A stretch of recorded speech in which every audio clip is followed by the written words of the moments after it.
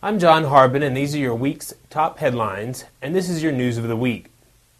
More than $1.2 million in farm equipment was lost in a barn fire that broke out just before 6 p.m. Friday, July 2nd, in Mills River at the former Roper Dairy Farm.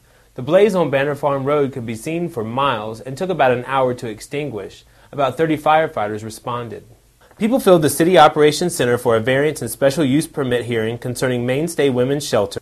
While most people spoke in favor of the shelter staying at its location on Fifth Avenue, some Main Street businesses and residents opposed Mainstay's request, saying there have been problems since the shelter moved to the new location. Members of the Hendersonville City Council unanimously voted in favor of Mainstay, saying that the shelter is a good steward of the community.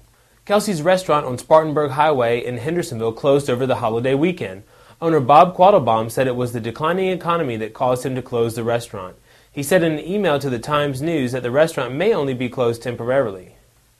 Firefighters in Henderson County battled two house fires caused by lightning on July 5th, including one blaze that destroyed a million dollar home where a worker was also reportedly struck by lightning. The fire was first reported at 3:10 p.m. at 503 Solomon Circle off Hebron Road. Flames continued to shoot from the collapsing roof an hour after firefighters arrived. The house looked to be a total loss. The second house fire was reported at 3:45 p.m. at 1401 Locust Grove Road. The fire was extinguished in about 20 minutes. Officials at Mountain Home Fire Department said the house was struck by lightning and there was slight damage. No injuries were reported. A woman whose son was killed when a tractor trailer slammed into a line of cars on I 26 last fall has filed a complaint against the Federal Motor Carrier Safety Administration after learning that the trucking company had a record of violations. Jackie Novak filed the complaint on June 29th and wants to see a panel created to review current truck safety policies and make sure they are enforced or changed if needed.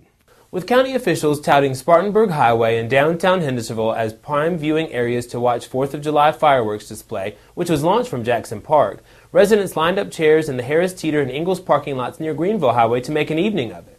By 9:30 p.m. when the show started, the area was packed with several hundred spectators. For more on these headlines and other headlines, visit us at blueridgenow.com or be sure to follow us on Facebook or Twitter.